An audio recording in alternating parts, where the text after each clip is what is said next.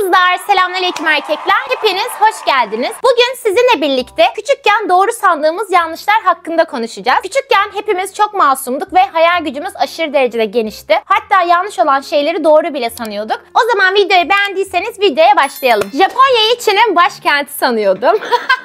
ben de küçükken şöyle zannediyordum. Her gözü çekik olan insanı Çinli zannediyordum. Hepimiz aynıyız. Irkçılık yapmayın. Çocuk öpüşülerek yapıyor zannediyordum. Bunu birçoğunuz yazmış. Küçükken gerçekten öyle şeyler aşırı derecede masum geliyordu bize. Abimin beyni olması. ya benim bu kız takipçilerim abilerinden ne çekti bilmiyorum. Eğer buradan beni izleyen abiler varsa lütfen kardeşlerinize iyi davranın. Çünkü onlar sizi gerçekten çok seviyor. Yağmur yağınca Allah işiyor zannediyordum.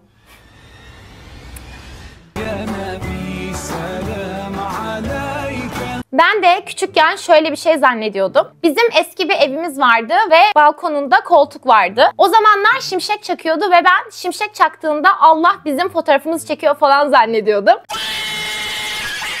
Aşırı derecede komik ve masum bir anı.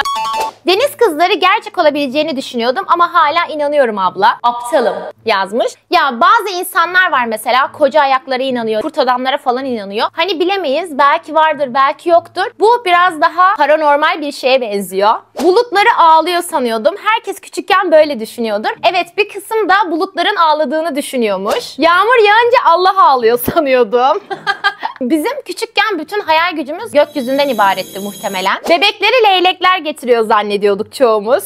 Ama öyle bir şey vardı. Çizgi filmlerde falan hep bebekler leylekle geliyordu ve bu çocukların bilinçaltına işlemiş resmen. Küçükken eskiden park yapılmaz yerlerini oynamalık park yapılmaz sanıyordum. ya ne kadar masum, ne kadar tatlısın. Yiyeceğim seni ya. Küçükken yaptığımızda ve sifonu çektiğimizde farelerin o yediğini zannediyordum. Ratatouille diyor ki Şimdi koy elini vicdanına hak ettiysem eyvallah.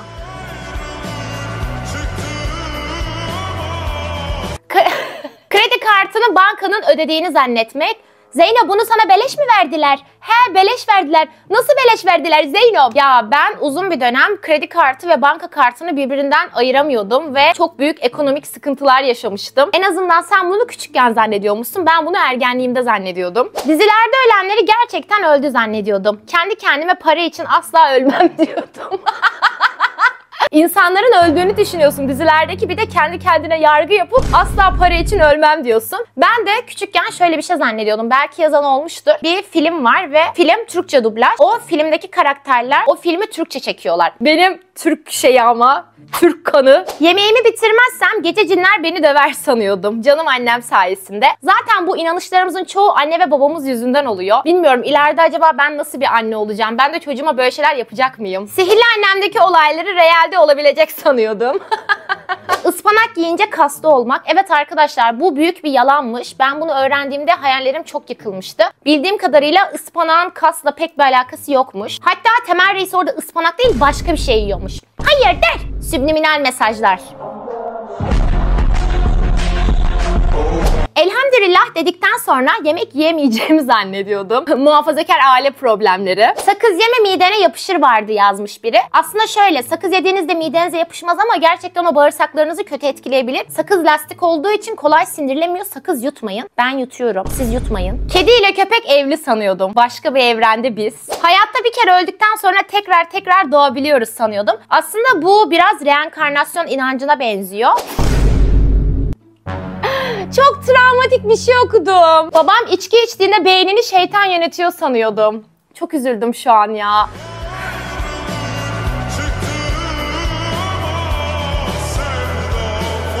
Gök gürlediğinde göğün karnı guruldadığını ve birini yemeden gürlemeye devam edeceğini düşünürdüm.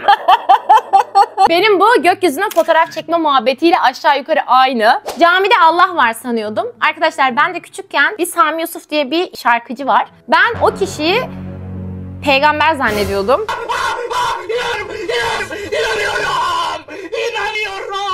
Gözümüzdeki yeşil varlık. Adını unuttum. Şeytanın dışkısı değilmiş. Nasıl yani? Nasıl yani? Havuza işeyince etrafımda kırmızı halka çıkacak sanmam beni böyle kandırıyorlardı. Sen bensin muhtemelen. Annem beni küçükken havuza işersen kırmızı olur diye kandırıyordu. Ve ben havuza kimsenin işemediğini düşünüp havuz sularını yutuyordum. Bir de annem o kadar profesyonel bir yalan söylemiş ki eğer ki havuza işersen havuzun içindeki klor yüzünden havuzun suyu kırmızı olur. Ve ben yıllarca buna inandım arkadaşlar. Ondan seni çok iyi anlıyorum. Ben Allah'ı ezan okuyan kişi zannediyordum. Bunu birçoğumuz zannediyordu bence. Kolanın içinde böcek olması. Bunlar evet zamanda çok fazla vardı. İşte yok kolanın içinde böcek var, kolanın içinde fare zehri var. Ve biz de saf gibi inanıyorduk buna. Küçükken ben misafirlerin suyuna tükürüyordum ve herkesin böyle yaptığını düşünüyordum. Teşekkür ederim. Yeni bir fobi eklendi ve misafirlikte kendim almadığım sürece su içemeyeceğim. Abla biliyorum çok saçma ama küçükken kardeşimle evleneceğimi sanırdım. bombastic side eye, criminal offensive side eye. Ayın beni takip etmesi yazmış biri. Ben de küçükken ayın beni takip ettiğini düşünüyordum ve arabadayken hep ayı izliyordum. Hatta böyle gözümü falan kaçırıyordum. Hala beni takip ediyordu. Böyle bildiğiniz kendimi dizinin ana karakteri, mayın karakter falan zannediyordum. Animasyon filmlerde oynuyorlar. Sonradan animasyon olarak çiziyorlar sanmıştım. Gerçekten çok enteresan. Babamın beni sevdiğini sanıyordum. Kavun bana baba al. Babayı da kavunlarım. Geri sar. Geri sar. Yıldırım çakarken Allah sinirleniyor sanardım.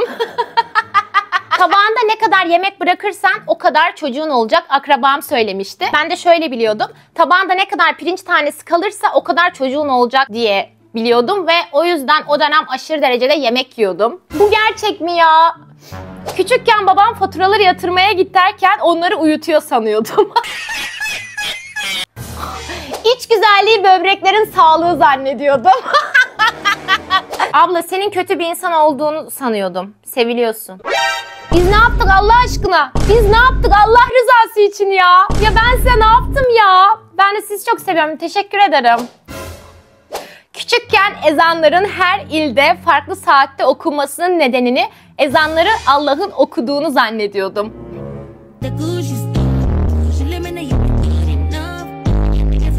Bizim televizyonun arkasında tüm insanların kablosu var sanıyordum. Biz televizyonu açınca onların kabloları çekilip geliyorlar. Kablo da görünmez sanıyordum.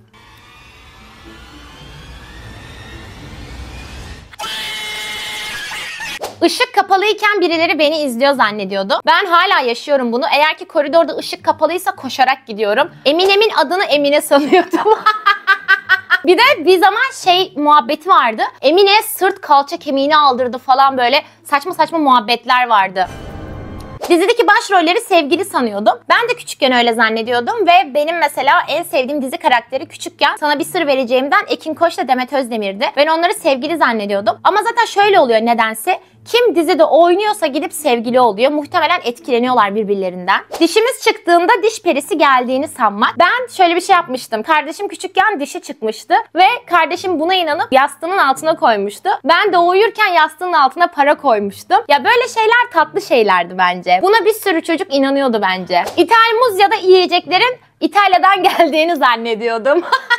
Ben ihraç ve ithalatın ne demek olduğunu lisede öğrenmiştim coğrafya dersinde. Bak biri yazmış. Gece şimşek çaktığında Allah fotoğrafımızı çekiyor sanıyordum. Bera. Ay bak ben de küçükken böyle zannediyordum. Çok mutlu oldum. Demek ki tek şizofren ben değilmişim. Bera öpüyorum seni. Zencileri banyo yapmadığı için siyah sanıyordum. Oyuncaklarım ben uyuyunca konuşuyor sanıyordum. Oyuncak hikayesini izlediysen bunu düşünmen çok büyük bir ihtimal. Ben de böyle düşünüyordum küçükken. Eskiden asgari maaşın sadece askerlere verildiğini Merhabalar. zannediyordum. Köpekleri erkek, kedileri kız zannetmek. Ama öyle değil mi arkadaşlar? Bence kediler kız vibe'ı veriyor ve erkekler de... Ay yanlış söyledim. Erkekler kusura bakmayın. Bence hala kediler kız vibe'ı veriyor ve köpekler de erkek vibe'ı veriyor. Bilmiyorum bana da böyle köpekler daha böyle erkekmiş gibi, kediler daha çok kızmış gibi geliyor. İmam hatiplerin ne sahip... İmam hatiplerin sahibini Nihat Hatipoğlu zannediyordum. Bankadan çektiğim parayla bankayı alabileceğimi sanıyordum. Ben de şunu düşünüyordum mesela. Neden bir sürü para basıp hani kendi kendimize para basıp neden ekonomiyi düzeltmiyoruz falan diye düşünüyordum. Karpuzun çekirdeğini yersem içimde filizlenecek sanıyordum. Hatta bunun animasyonunu izlemiştim. Pamuk şekerin bulutlardan yapıldığını sanıyordum. Çok tatlı bir zannetmeymiş. Çok hoşuma gitti. Ben az önce demiştim ya Sami Yusuf'u peygamber sanıyordum diye. Bizim bir alt jenerasyonumuz da Nihat Hatipoğlu'nu peygamber sanıyormuş. Regli ilk öğrendiğim zaman 13 yaşında regl olunuyor ve ölene kadar bitmiyor zannediyordum. Eğer ki bilmeyen varsa söyleyeyim. Evet regl oluyoruz ergenliğe girerken kızlar olarak ve daha sonrasında da menopoz dönemi oluyor ve reglimiz bitiyor. Merak etmeyin, endişelenmeyin ve regl olduğunuzda da bunu direkt annenize söyleyin. O size yardımcı olsun. Böyle konularda sakın çekinmeyin. Tüm yaşlılar kanser sanıyordum hepsi kel olduğu için. Kıyamam sana ya. Bozuk paradaki Atatürk'ü Allah sanıyordum. Allah'ım affet. Selena'daki Yüce Honos'u Allah zannediyordum. Bunu birkaç kişi daha yazmış. Ama öyle bir atmosfer veriyorlar ki yani küçükken bunları zannetmemiz bence çok normal. Suçlu olan biz değiliz. Bu arada arkadaşlar videoyu beğenmeyi ve yorumlarda siz de küçükken yanlış bildiğiniz doğruları yazmayı unutmayın. Sadece kendimin içinden düşünebildiğini zannediyordum. Kendimi süper zeka olarak görüyordum. Ya işte kendini mayın karakter zannedeceksin ve böyle kendine anlam yükleyeceksin. Kendini sevmeye devam et. Sınıfta kalmayı okulda bir gece kalmak zannediyordum. Merhaba arkadaşlar kanalıma hoş geldiniz. Bugün sizinle birlikte sınıfta kalıyoruz. Namaz kılan insanların başka bir boyuta geçip normal dünyayı görmediğini sanıyordum. Hatta bir kere annem namaz kılarken kardeşime vurmuştum. Neden vurdun dediğinde inkar ettim. Ben küçükken annem ile babam ayrılmaz sanmıştım. Hayır der. Böyle konular olabiliyor. Bu konularda güçlü olmamız gerekiyor. Şöyle bir şey var. Eğer ki anneniz babanız ayrıysa benim de annemle babam ayrı. Ama bu onların ikisinin yaşadığı bir problem ve bizim kendimizin güçlü olmamız gerekiyor. Anneniz ve babanız ayrıldıysa lütfen bu noktada kendinizi suçlamayın ve hayatınıza devam edin. Şöyle eğer ki üniversiteye gitseydiniz şehir dışında yine anne ve babanızdan ayrı olacaktınız. Evlendiğinizde de anne babanızdan ayrı olacaksınız. O yüzden bu konu yüzünden lütfen kendinizi üzmeyin. Ben sizi çok seviyorum. Biri yazmış ki yutkununca orucum bozuluyor zannediyordum. Çok masum bir şey ya. Duş jelimin kafama gelince kel kalacağımı düşünüyordum. Ben de küçükken Selena yüzünden, Selena da bir sahnede Kıvılcım Selin'in şampuanına tutkal döküyor ve Selin'in saçları mahvediyor. O Kıvılcım yüzünden ben birinin evine gittiğimde hep şampuanlara bakıyordum. Kafama tutkal yapışmasına kel kalmayayım diye. Kıvılcım. Hayır der. Biri yazmış ki tırnağımın bütün vücudumu kapladığını zannediyordum. Oha çok korkunç bir şey bu. Yani şuradan gidiyor ve ay gerçekten çok korkunç bir şey düşünüyormuşsun. Kıyamam sana ya. Murat Boz'la Hadise'yi sevgili sanıyordum. Bir şey diyeyim mi? Ben de öyle sanıyordum ve bence onlar bir ara sevgili oldular. Bana öyle geliyor. Bilmiyorum hadiseye bayılıyorum ama bilmiyorum. Hayır der. Dizide evli olan insanları gerçekte evli sanıyordu. Benim bir tanıdığım da şöyle zannediyormuş. Dizideki hizmetçileri Selena'da vardı ya müstesna falan. Onu gerçekten hizmetli zannediyormuş. Market poşetiyle camdan atlarsam uçarım sanıyordum. İyi ki denememişsin. Sakın öyle şeyler denemeyin arkadaşlar lütfen. Küçükken trafikteki kamera resimleri fotoğrafımızı çekiyor sanıyordum. Hayır der. Çekmiyor mu zaten? Allah'ı takım elbiseli yakışıklı bir dev zannediyordum abla. Seni çok seviyorum. Çoğu kişi böyle zannediyor. Köpek balığını köpek balık yiyince oluyor zannediyordum. Boraksız slime yazmış. Arkadaşlar benim kardeşim bir ara deli gibi slime yapıyordu ve ben artık böyle o kadar kafayı yiyordum ki bir tane YouTube kanalı vardı kadın hatırlamıyorum. Kadın habire slime yapıyordu ya. Asansörün ışınlanma makinesi olduğunu düşünüyordum. Ben böyle düşünmüyordum ama ben 2024 yılında jetgiller gibi UFO gibi şeyler olacak ve biz jetgiller gibi onlara binip gezeceğimizi zannediyordum. Ama gelin görün ki şu anki halimize bakın. Abim osuruk çok sağlıklı deyip ağzımı osuruyordu. Bak biz bu abilerden ne çektik ya? Benim abim yok. Bazen diyorum keşke abim olsaydı ama bazen diyorum ki iyi ki abim yok. Solucanların büyüdüğünde yılan olacağını sanıyordum. Mantıklı bu arada. Bebeklerin karnımızda büyüdüğünü ve evlenince çıktığını sanıp karnımla konuşurdum. Mabel Matiz'in adını gerçekten Mabel sanıyordum. Hatta anneme böyle isim mi olur demiştim. Arkadaşlar ben de geçen gün ne öğrendim ve şoka girdim. Haluk Levent'in adını Haluk Levent zannediyordum ve Twitter'da sürekli Haluk Levent acil yazıyorlar ya. Acil baksın diye yazdıklarını zannediyordum. Ama adamın adı Haluk Levent acilmiş. Hatta Levent takma adıymış galiba tam hatırlamıyorum. Ve ben bunu 24 yaşında öğrendim. Yağmur yağınca ölenler ağlıyor sanıyordum. O yüzden ben de ağlıyordum abla. Senin pamuk kalbinden öperim ya. Babaannemi erkek zannediyordum. Babaannenin suçu ne? Şarkı klibindeki şarkıcılar şarkıyı sonradan seslendiriyor değil de klipte canlı söylüyorlar zannediyordum. Arkadaşlar bunu ben de öyle zannediyordum. Ben cover videolarını da o an söylüyorlar zannediyordum ama meğerse o kadar zormuş ki cover videosu bile yapmak. Gerçekten bütün şarkıcıları buradan Tebrik ediyorum. Angela ve Tom'un gözünde kamera var sanıyordum. Bir şey söyleyeyim mi? Bir ara öyle bir hurafe, öyle bir paranormal bir şey uydurmuşlardı ki herkes öyle zannediyordu ve herkes bir ara Angela ve Tom'u silmişti. Hala duyduğumda böyle tüylerim diken diken oluyor. Korkunç. Anaokulu öğretmenimi annem sanıyordum. Hatta babam beni okula götürürken baba bak annem demiştim. Babam da bana kızmıştı. Vallahi iyi annenle babanın arası bozulmamış. Ben de küçükken ilkokul öğretmenime aşıktım. Kadındı ve Stardoll adımı bile o öğretmenimin adını koymuştum. Bilmiyorum ona karşı çok ayrı bir sevgim vardı. Onu çok seviyordum. Bence bir öğretmen bir çocuğun en büyük şansı. Eğer ki iyi bir öğretmense çok güzel anılarınız oluyor. Eğer ki çok korkunç bir insansa travmalarınız oluyor. Kerim videolarını gerçek sanıyordum. Ben de bir ara o kadar düştüm ki o Peri'nin videolarına. Diyorum Allah'ım bu çocuklar nasıl yapıyor bunları? Ben de küçükken şöyle bir şey zannediyordum. Hemşireler hep hastanede yaşıyor ve asla oradan çıkmıyorlar. Bütün doktorlarla hemşireleri birbiriyle evli zannediyordum. Daha sonra hemşire olmam peki. Anlamadık sanki. Böcekleri ezersek böceklerin abileri ve ablalarının gelip bizi yiyeceğini sanıyordum. Seviliyorsun abla. Ben de sizi çok seviyorum. Ben hala mesela bir sinek öldürdüğümde ya da bir arı öldürdüğümde özellikle arılarda böyle zannediyordum. Bir arıyı öldürdüğümde gelip arı sürüsünün beni ısıracağını zannediyordum. Gerçekten çok zor çocukluk geçirmişiz hepimiz. Saatlerin olsunu saatlerin olsun sanardım. Tepelerin içinde devler yaşıyor falan sanıyordum. Ben de küçükken yüksek, dağ ve uzak yerlerden çok korkuyordum. Malatya'da mallar yaşıyor sanıyordum. Hapşırdığımda biri çok yaşa demezse öleceğimi zannediyordum. Ya yerim seni ya. Senin ilgi bağımlılığı şaka mı? Allah'ın bizim evdeki gri seccade olduğunu sanıyordu. Affet Allah'ım kıyamam sana ya. Diyorum ya hepimiz çocukken genel olarak Allah, bulutlar ve evren hakkında çok büyük kaygılara sahipmişiz. Mantar yemiyordum çünkü şirinlerin evsiz kalacağını sanıyordum. Kahvesi içince çocuğum olmayacak sanıyordum. Ben de şöyle zannediyordum. Eğer ki Türk kahvesi içersem bıyıklarım çıkacak ve bıyıklarım kararacak diye düşünüyordum. Sonra büyüyünce böyle bir şey olmadığını öğrendim ve sürekli Türk kahvesi içiyorum.